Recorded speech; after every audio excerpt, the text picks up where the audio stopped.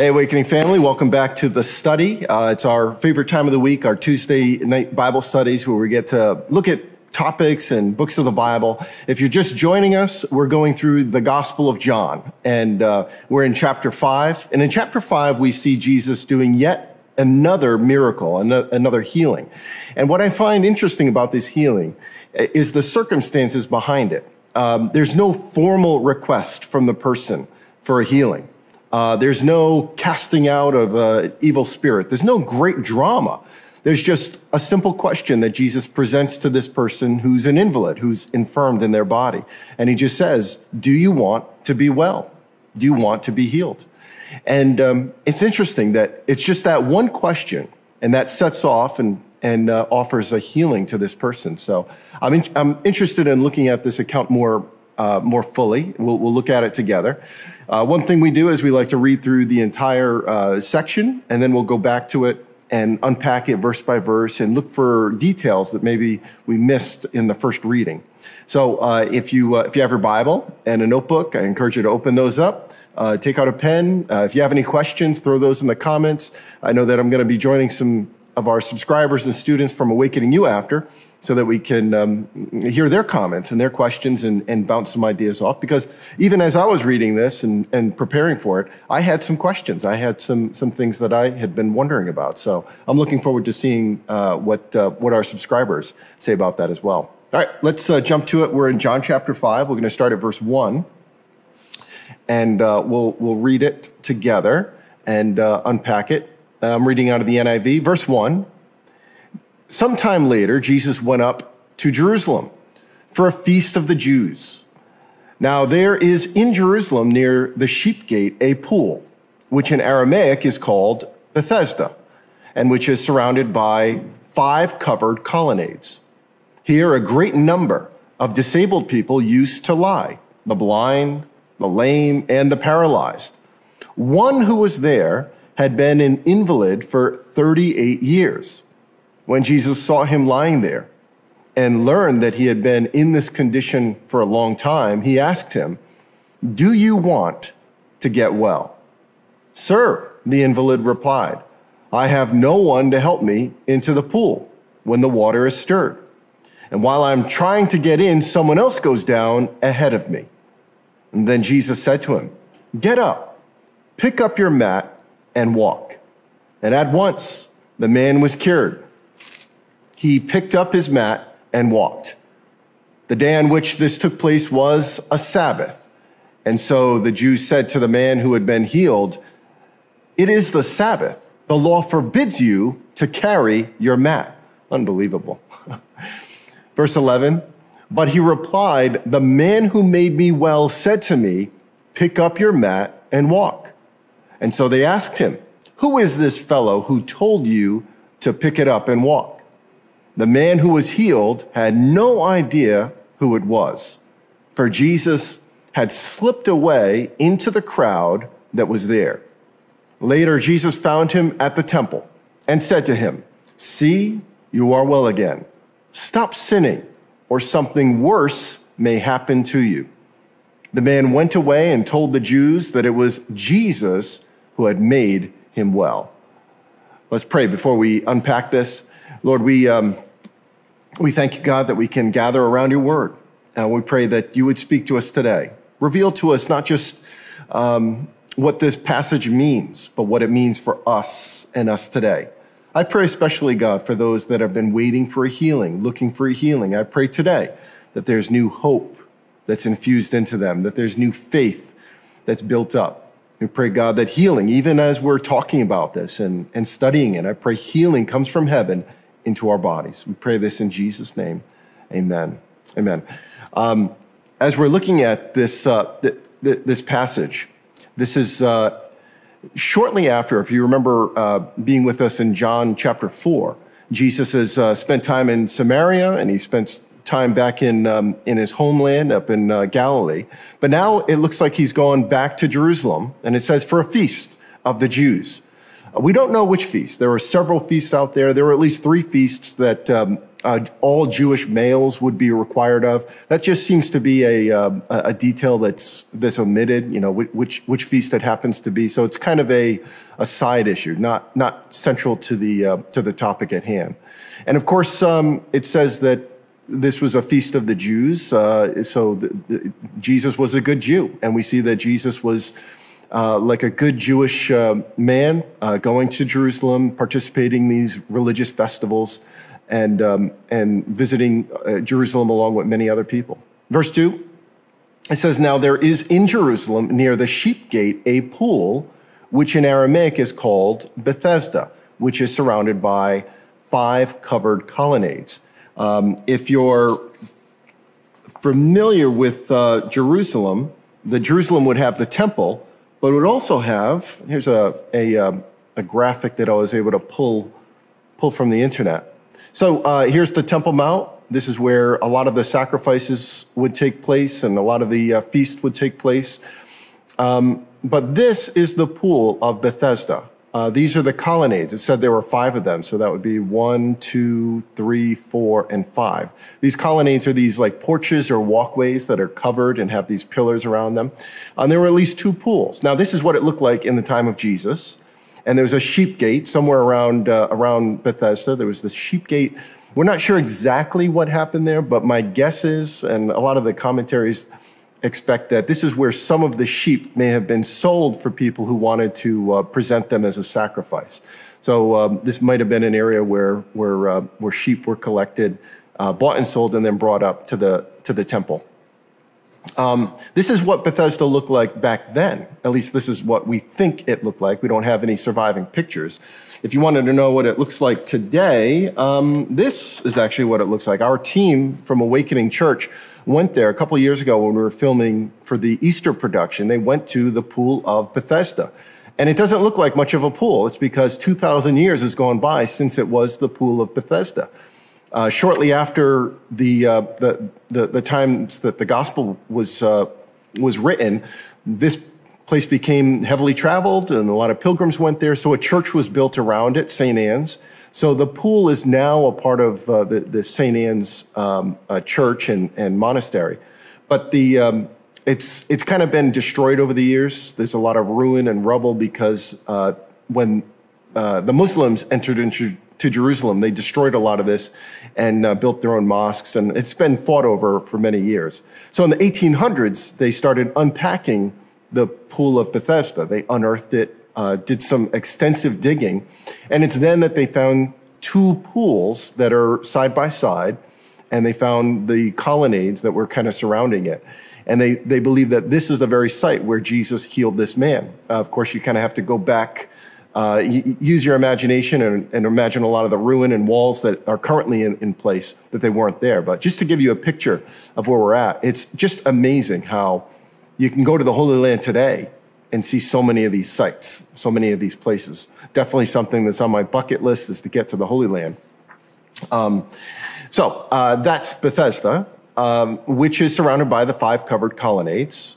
Uh, and here, a great number of disabled people uh, used to lie the blind, the lame, and the paralyzed. So these really were, you know, there was no hospital back then. Many times your family wasn't able to take care of you, and you would um, you would be surviving off of the sympathy and the generosity of other, other people. So in verse 5, it says, One who was there had been an invalid for 38 years.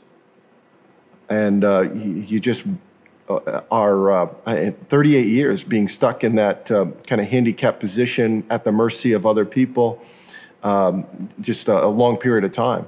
I underline this, this word here, one who was there, because it's interesting that, to me, it's interesting that there were many other people who were in a desperate situation like this man. But there was only going to be one person who would be healed. And that's, um, that's sort of a question that I have in my mind, and maybe it's something you guys want to comment on as well. But why is it, uh, what set this uh, person apart, right? Verse 6 When Jesus saw him lying there and learned that he had been in this condition for a long time, he asked him, Do you want to get well? Jesus asks what seems to be a very obvious question. You would, you and I would think, of course he wants to get well. Why is Jesus asking this rhetorical question? But um, in my life, there have been times I've worked with people that maybe maybe it's not a physical disability, but it's it's like a, a it's maybe a behavior or a pattern in their life that's unhealthy, and I try to help them out of it, but they really show no interest in changing. And I, I can't imagine that it's possible that there would be a person that wouldn't want to be healed because maybe they were used to relying on the sympathy and the generosity of other people. Maybe they don't have to work. I don't think that's necessarily, obviously, the case of many people today. But uh, you wonder, you know, if there was a reason why this person wouldn't want to be healed. Maybe he lost all hope. I don't see him losing all hope, though, because he's still in this place. He's still at this colonnade, uh, at this pool, expecting or waiting for a miracle. He really, to me, shows great desperation and persistence. 38 years, and he's still praying. I mean, how, how long have you put a request before God and you're still praying the same prayer, the same request 38 years later? To me, I see a man who really does have some, uh, some persistence. It says in verse 7, uh, the man responds, Sir, the invalid replied, I have no one to help me into the pool when the water is stirred. The, um, the, the, the, picture seems pretty obvious. Um, some of the older Bibles, the early Bibles, have this commentary inserted in where they explain what may have been happening here. Uh, some of the old Bibles, some of you may, may, even be familiar with it because your Bible says it. But um, there is this belief that an angel would come down from heaven and then stir the waters. And when the waters were stirred, that would be the time of healing. But there was a catch to it. It was only the first person in would receive the healing. But of course, it's a pool that's surrounded by many people. And here's the catch. They're blind. They're, they're handicapped. They're invalid. They can't get up and walk and jump into the pool. So how are they going to get down there? And that seems to be his, his, uh, his gripe, his complaint. It's not, again, I, I don't think he's hopeless. I think he's helpless. I don't think he's lost all hope. I just see a man who has no one to help him. Part of me wonders if Jesus' question, do you want to get well, is a is a uh, an effort of, by Jesus to help this man see his own uh, desperation, to see just how truly helpless he is.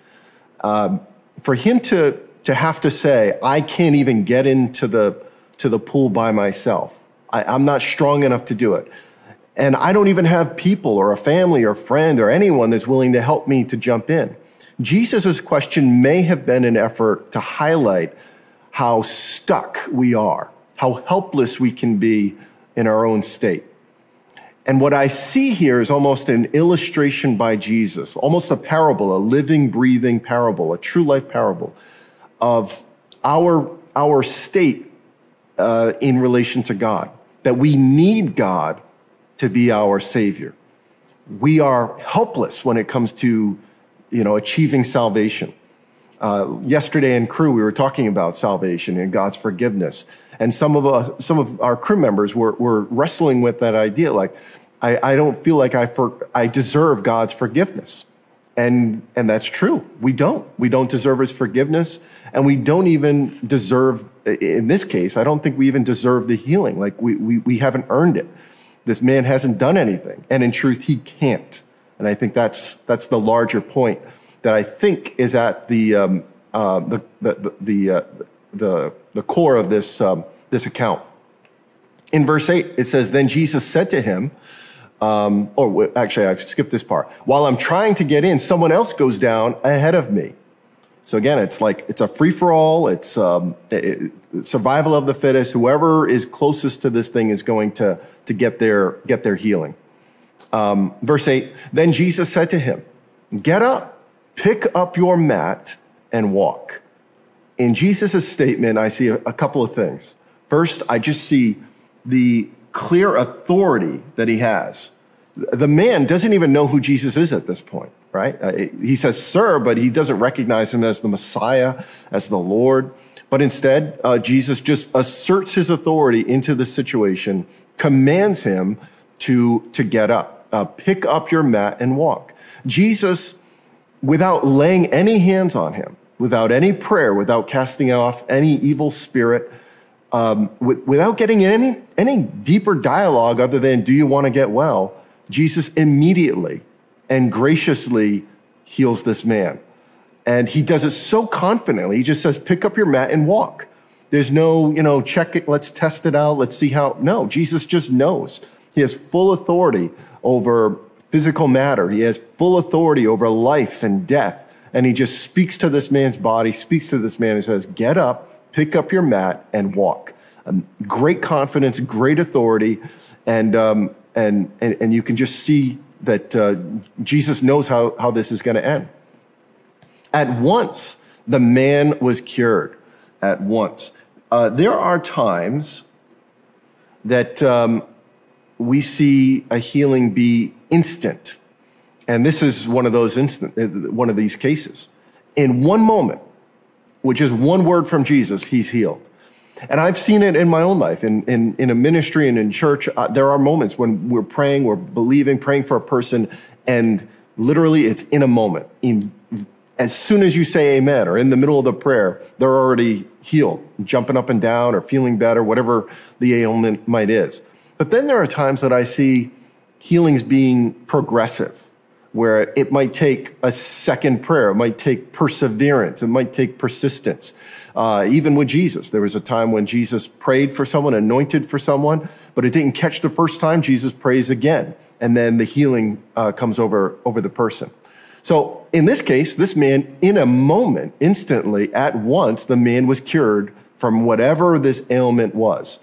And uh, what what is uh, surprising to me is just how I, we've talked about how in John, John seems to be making a case for who Jesus is, that he is uh, not just another man. He is, there's a supernatural nature to who he is, that he's God, the Son of God, that, um, that he's a miracle worker. And we see how Jesus is able to do in an instant what this man wasn't able to do with 38 years. While other people were waiting and persevering and, and, and all, Jesus is able to do instantaneously. But at once the man was cured and he picked up his mat and walked, just as Jesus told him to do. So he, he obeyed, he, he uh, responded appropriately. Uh, the day on which this took place was a Sabbath. Um, that shouldn't even be an issue, but we see that the Sabbath becomes an issue later on in this um, uh, as, as we continue to read. In verse 10, it says, And so the Jews said to the man who had been healed, It is the Sabbath. The law forbids you to carry your mat. Uh, to be clear, when, when it says, So the Jews, this isn't a, uh, a disparaging remark against all Jewish people. Uh, here, John, uh, John, the writer of this gospel, is Jewish. So he's not um, you know, anti-Semitic. When he talks about um, the Jews, he's talking about the religious leaders. He's talking about the Pharisees, these people who prize themselves not just on the knowledge of the law, but a meticulous application of the law. For the Jewish people, the Sabbath was a, a, a day that should be absolutely set apart, not just a day of, of rest, but a day of, of, of full obedience to God and to the law. And to help them with that, the Jewish people uh, over the years would add these commentaries to the Bible where they would break out. Shabbat would be uh, how the, uh, in Hebrew you would you'd talk about the Sabbath. They would talk about the 39 categories of the Shabbat. So on the Sabbath, you would not be able to do any of these things. So when you and I think about no working on the Sabbath, we're thinking we're not going to work.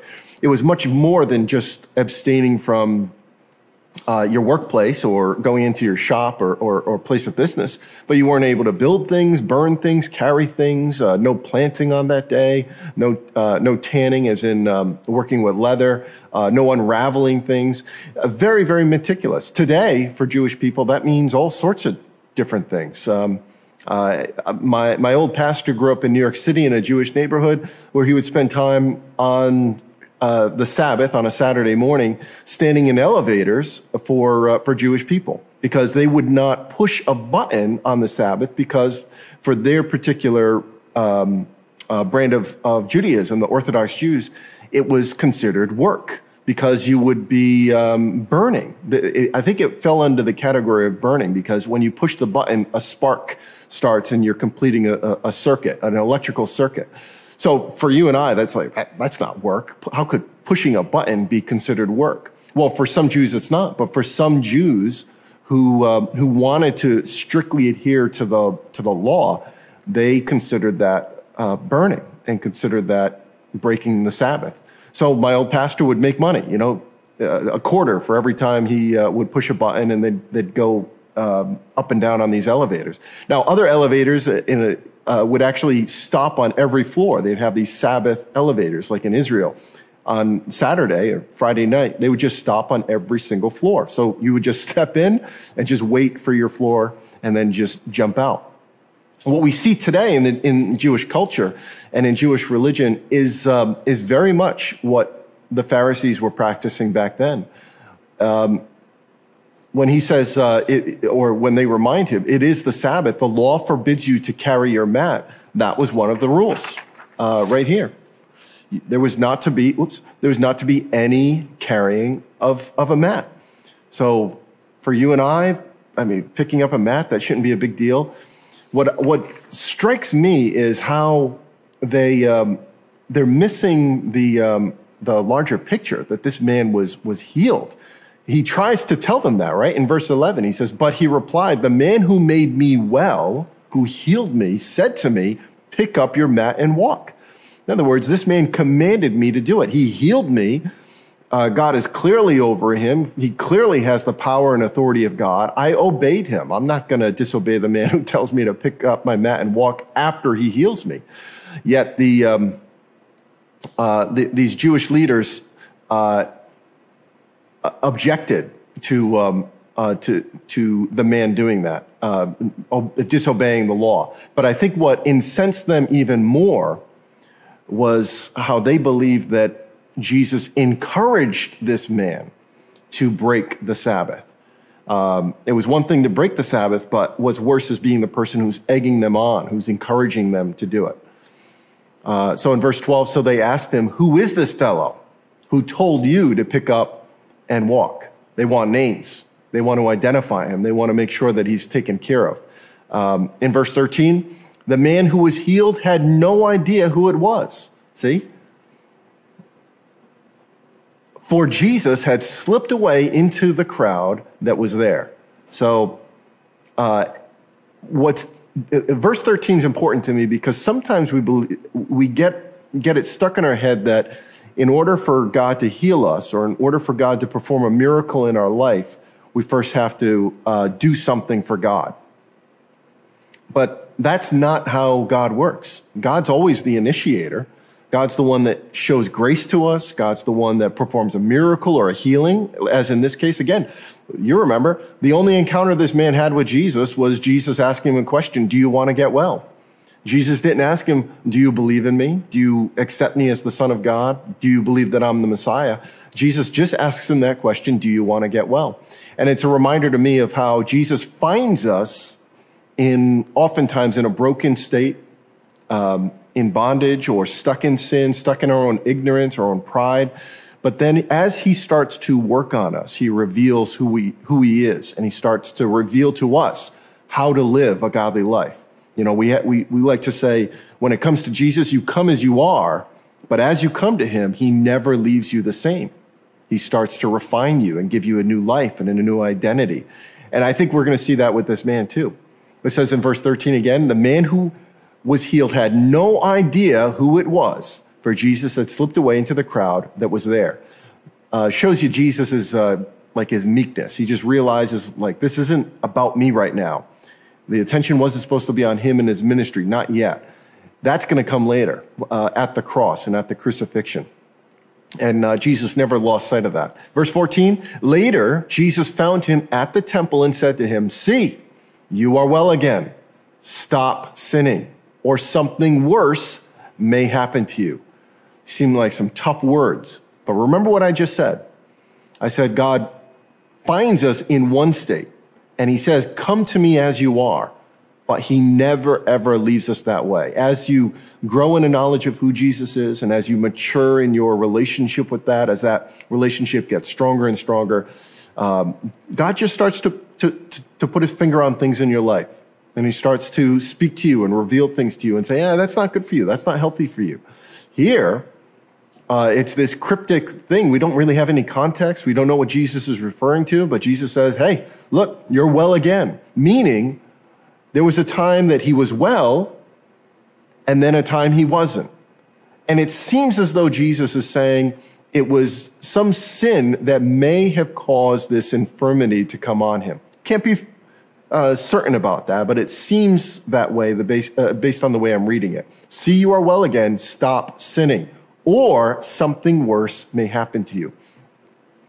Um, we don't even know what the sin is. And um, Jesus doesn't even give us the man's name. Uh, we just have this, this man who is sick. Uh, and, but Jesus does want to, um, he does want this man, now that he's been healed, now that he's really received a miracle in his life, he wants this man now to move forward in righteousness, move in holiness. Last week, when we were talking about um, uh, miracles, uh, another miracle that took place in um, uh, with uh, with uh, while Jesus was in uh, Samaria, um, I reminded you that God never wastes a miracle, and that's what I see here. I see God doing a miracle in this man's life, just a full act of grace. He doesn't demand or expect anything from the man. He just asks him, "Do you want to get well?" And Jesus does a miracle, something only he could do. He heals him. But he never, he, he doesn't leave him there. He, he wants him to continue to grow and he says, stop sinning or something worse may happen to you. What's the worst? I don't know. I leave it in the comments. We'll talk about it later uh, with Awakening U uh, subscribers and, and students. What's the worst that may happen? Is he hinting that he could die? Or is it even uh, just a hint that if you allow this sin to persist in your life and you continue to walk in it and stay in it, you're going to suffer in eternity. We, we don't know. We don't know. But, but I think the man knew exactly what Jesus was saying. It says the man went away and told the Jews that it was Jesus who made him well. I do believe that this man's encounter with Jesus changed him forever, not just in his body, but I do believe that he stopped sinning. And he went on now to tell these Jewish leaders, these, these uh, um, uh, very, uh, very prominent religious leaders in, in Jerusalem who Jesus is.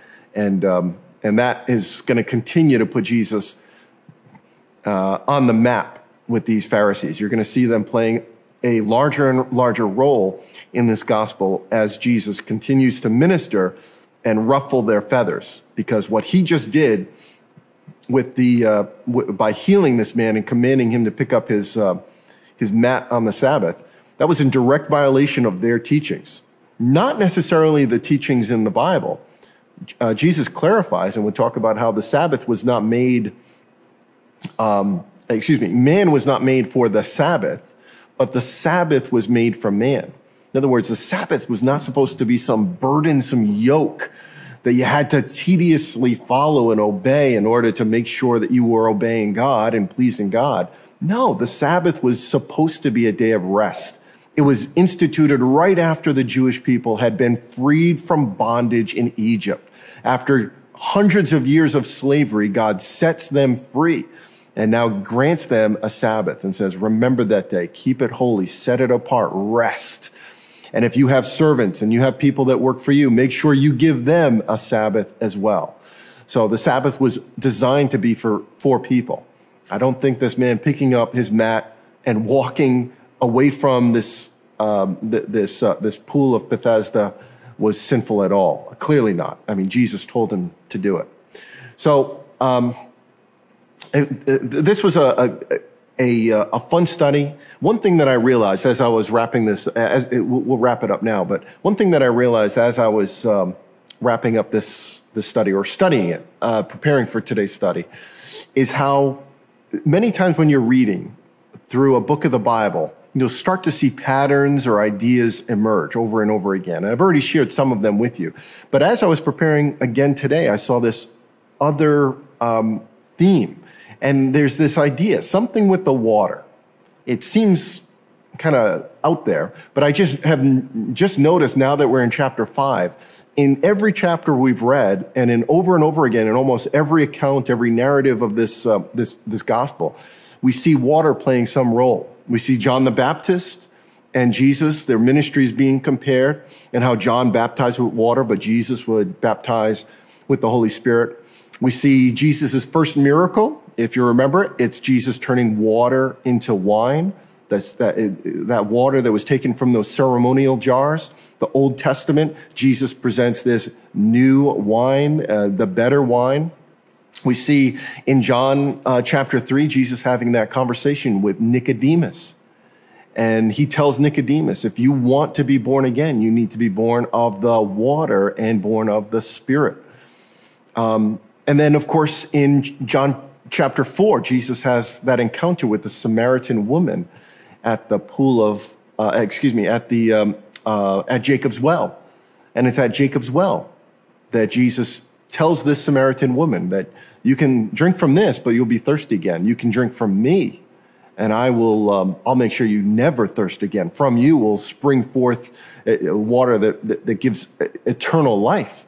So I'm seeing this theme and it just seems to be getting louder and louder and then in chapter five, finally, my, my eyes have opened up to it. I'm like saying, oh, I, I can see what God is doing or what, what he's trying to present to us. And we see this man who's been waiting at the pool of Bethesda for 38 years, waiting at this pool, waiting for the waters to be stirred, waiting for someone to help him get into the water. And none of that could provide the, the, the healing and the life that he needed. But then he meets Jesus Christ, who John has already talked about many times as the one who brings living water, who brings eternal life. And that one encounter with Jesus brings this man um, full health, full restoration in his, in his body. So, uh, that's just one of the one of the things that happens. You know, as you're studying the scriptures, studying the Bible, sometimes you've read a book dozens of times. The book of John, I've read, I, I've lost count of how many times I've read it. But to see this for the first time, um, just so, so, so, so cool. So I'm so glad you could join us for uh, the study this week. I would encourage you to jump onto awakeningu.org. Um, if you haven't already, there's tons of content, tons of courses and classes to help you to grow as a disciple. Um, and then you can jump in and join me for these um, uh, live Q&A sessions that we hold every Tuesday. But uh, you can go to awakeningu.org to learn more about that. Otherwise, God bless you guys. Hope you have a great rest of the week. We'll see you Sunday and hope to see you in the next study next Tuesday. Bless you.